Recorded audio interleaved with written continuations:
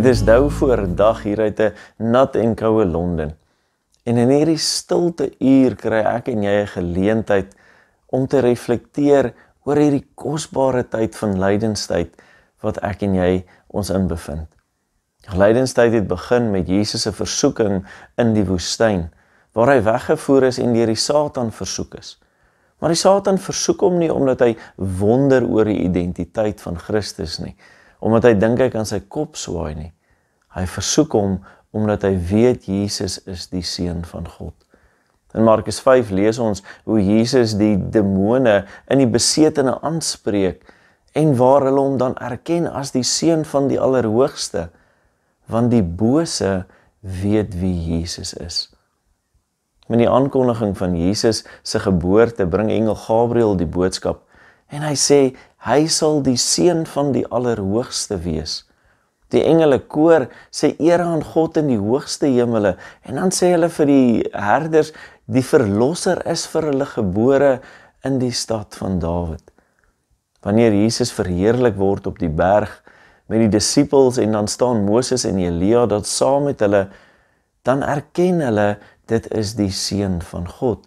Ja, die hemele erken Jesus is die seun van God.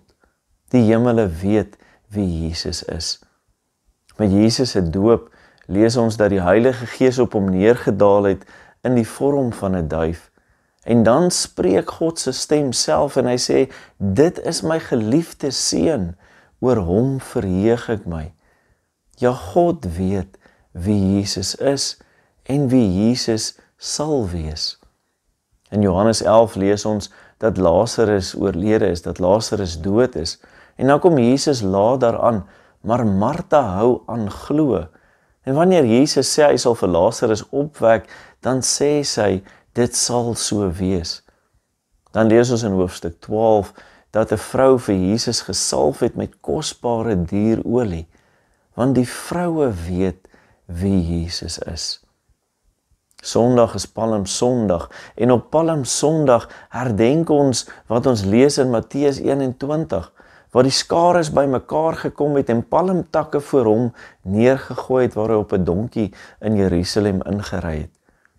En dan eer hulle hom en hulle sê prys die seun van Dawid, prys die Allerhoogste. Hy is die verlosser. Jesus word deur die skare erken want die skare weet wie Jesus is. In hierdie heilige week, hierdie week voor Paasfees, het ek en jy 'n geleentheid om hierdie vraag te antwoord. Weet jy wie Jesus is? Weet jy en ek, weet ons as Christene, as sy volgelinge, as sy disippels vandag, weet ons wie Jesus is? Mag ons in hierdie heilige week opnuut ontdek wie Jesus is en mag ek en jy dit bely en glo met ons hele lewe. Kom ons bid saam. O Christus, ons verlange.